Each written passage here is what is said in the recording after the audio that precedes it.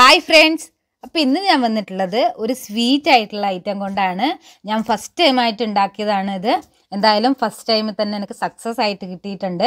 അപ്പോൾ ഇന്ന് ഞാൻ ഉണ്ടാക്കിയത് ജിലേബിയാണ് നമ്മുടെ കടയിൽ നിന്നൊക്കെ വാങ്ങിക്കുന്നത് സെയിം ജിലേബി തന്നെ ജിലേബി ജാംഗ്രി എന്നൊക്കെയാണ് പറയുന്നത്. അപ്പോൾ നോർത്ത് ഇന്ത്യയിലുള്ള ആൾക്കാർ വട്ടത്തിലുള്ള ആ യെല്ലോ ആയിട്ടുള്ള ജിലേബിക്കാണ് അവർ ജിലേബി എന്ന് പറയുന്നത്.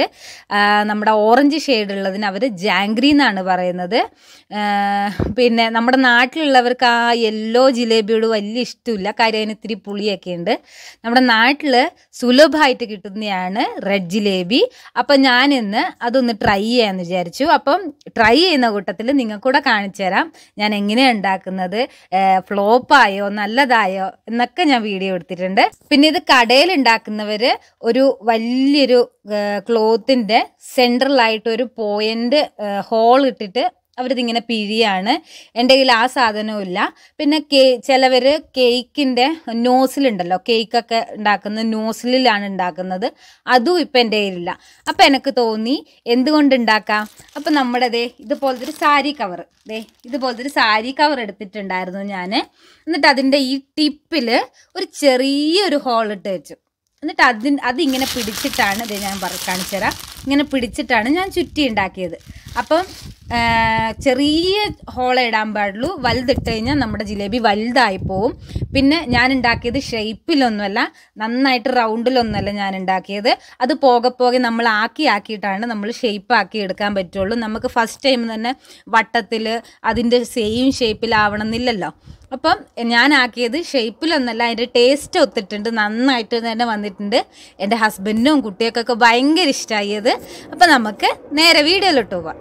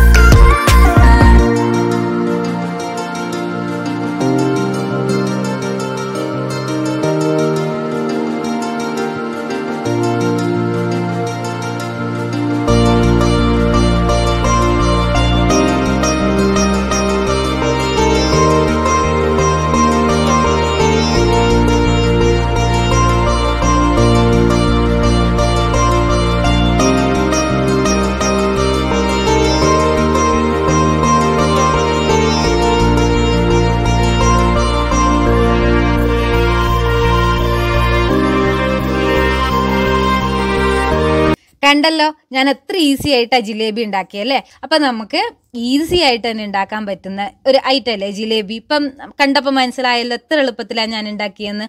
അപ്പോൾ നിങ്ങളെല്ലാവരും ഇതൊന്ന് വീട്ടിൽ ട്രൈ ചെയ്ത് നോക്കിയിട്ട് അഭിപ്രായം കമന്റ് ആയിട്ട് അറിയിക്കുക. പിന്നെ എന്റെ ഈ ചാനൽ ആദ്യമായിട്ടാണ് നിങ്ങൾ കാണുന്നതെങ്കിൽ ഒന്ന് സബ്സ്ക്രൈബ് ചെയ്ത് സപ്പോർട്ട് ചെയ്യുക. പിന്നെ സബ്സ്ക്രൈബ് ചെയ്താൽ മാത്രം പോരാ അടുത്തുള്ള ബെൽ ബട്ടൺ എനേബിൾ ചെയ്ത് വെച്ച് കഴിഞ്ഞാൽ മാത്രമേ ഇടുന്ന വീഡിയോസ് അപ്പോൾ നിങ്ങൾക്ക് നോട്ടിഫിക്കേഷൻ ആയിട്ട് കിട്ടുള്ളൂ അപ്പോൾ ഇനിയും പുതിയ പുതിയ വീഡിയോസ് ആയിട്ട് വരുന്നതായിരിക്കും. അതുവരെ താങ്ക് യു ബൈ